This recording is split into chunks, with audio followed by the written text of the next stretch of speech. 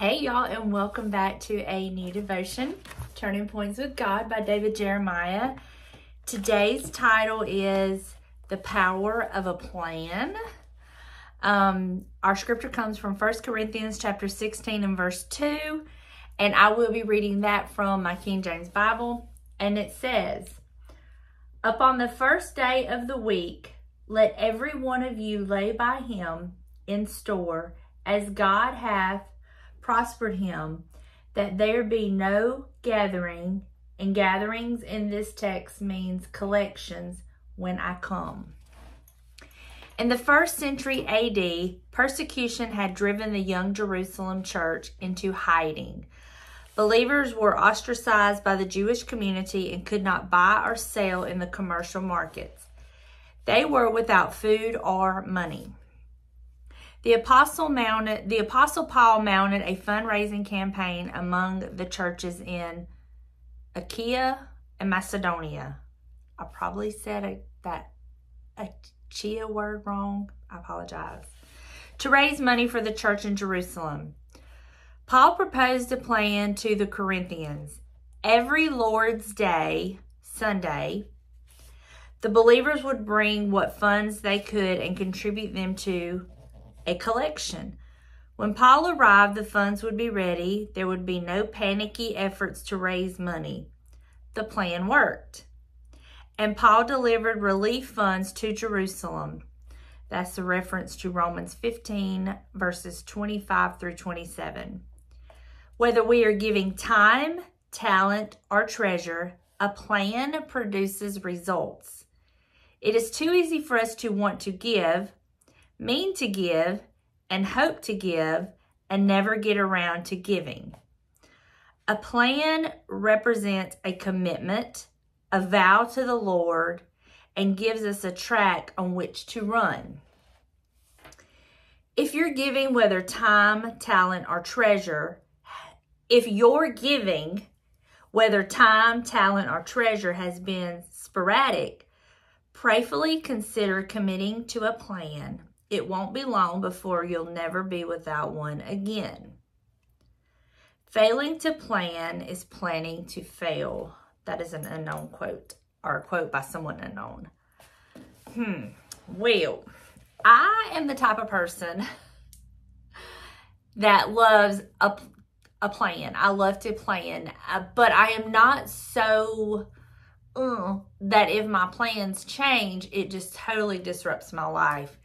I'm not that bad, but I do kind of like to have a plan. And I can understand how beneficial planning can be. Um, and I understand that they're talking about, you know, money and all that kind of stuff. And what greater time for this devotion than the time we're in now, meaning all the devastation that has hit our part of the world. I mean, what we're seeing in the United States is stuff that you would normally see in war-torn countries. Um, and uh, news flash, did y'all know Wyoming's been on fire? Nobody's covered that.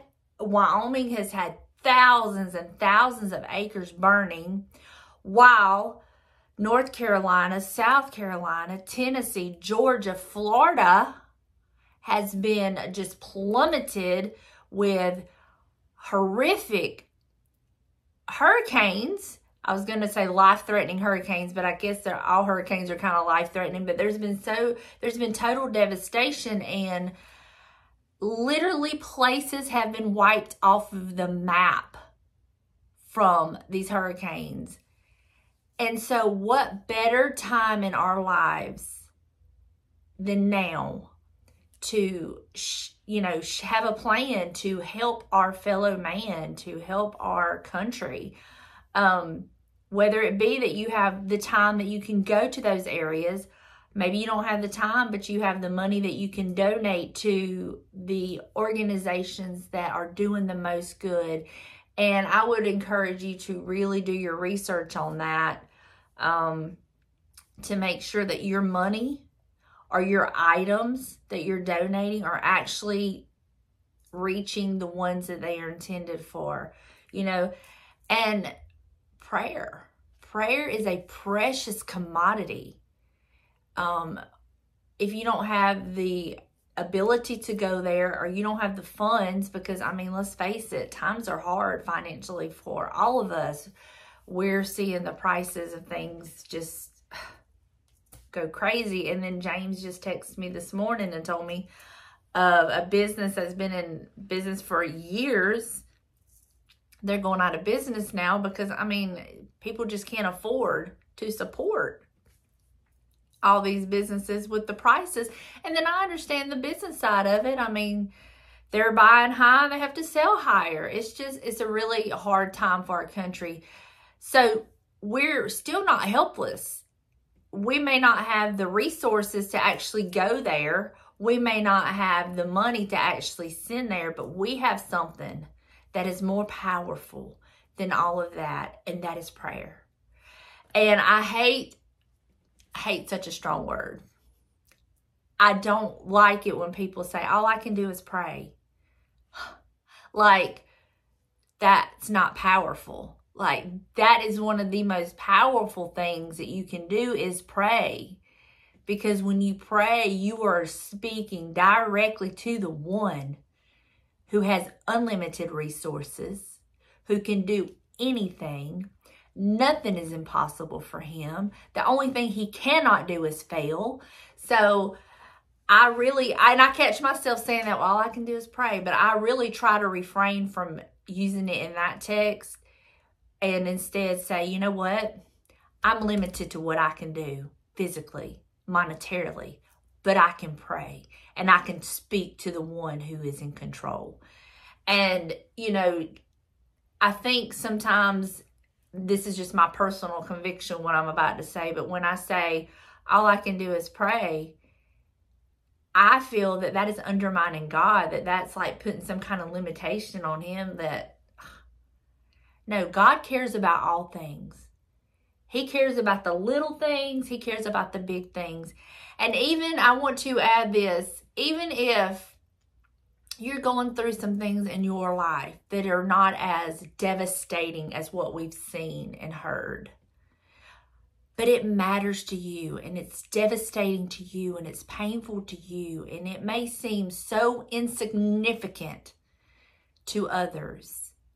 It still matters to God. I hear sometimes people saying, I mean, does God really care about whatever? Could be something so trivial Yes, yes, he does.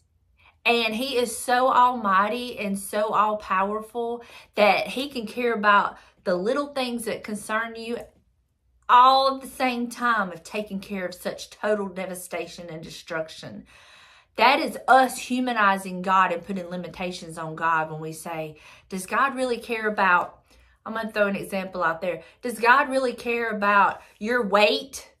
Uh, does God really care about your home decor? Does God really care about uh, your flowers in the garden blooming? Does God really care about that when there's all this going on? Yes.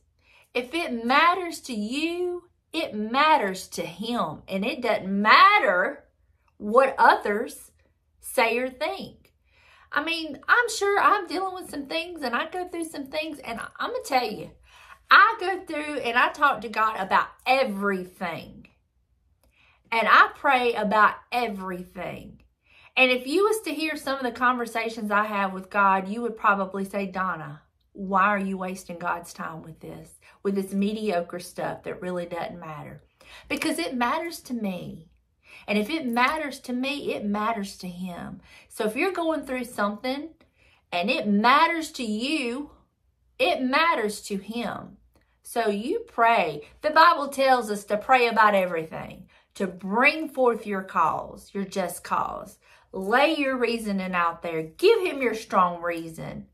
That doesn't mean he's going to give you your way and he's going to answer every little prayer you pray to him because he sees the grand scheme of things. But he does not disregard your feelings and he understands you. He created you. He knows you better than you know yourself. And so, yes, absolutely. If it matters to you, it matters to him. And I wish I had unlimited funds that I could just help everybody that needs it. I could help all my family. My family would never have to worry about anything. You know, I wish. I don't. I wish I had resources, heavy machinery, helicopters, whatever. I wish. I don't. But I do know what I can do, and I can talk to the one who has unlimited resources, just like you can. So don't let the world make you feel guilty. Guilt is a big a big tool the enemy will try to use. Don't let the world make you feel guilty because you don't have the funds or the ability or the time to physically go there. You can go there in prayer and you can talk to the Creator. And He has unlimited time, resources, funds. He can make a way where there is no way. He can put the right people at the right time in the right spot with exactly what they need. That's how good God is. And that's what I'm doing in all of this. So, as much as I wish I had other things that I could do, I mean, I can donate clothes, I can donate stuff like that. Absolutely. And I will and do. Um, but I guess my thing is, I've seen it happen where others will try to make people feel guilty. And that's just not that's just not godlike. That's just not godlike. Because quite honestly, I personally don't want anybody to do anything for me out of guilt. If it's not given with a cheerful heart and because they want to, I really don't want it, you know? Um, but I always, always, always can pray and do for others. So my my plan A is pray. And then God will either help me implement plan B by all this other stuff, or He will tell me something else He wants me to do. And that's another thing with praying. God will reveal to you how you can be best used in any situation, you know? Um, he will let you know what he needs you to do. And if he tells you to do it, he will make a way and provide for you to do what he wants you to do. We can never go wrong with praying. So our plan A should always be to pray. pray, pray, pray, and then let everything else fall into place according to the will of God. That's what I'm taking from this. You may get something different. That's the beauty of God's word.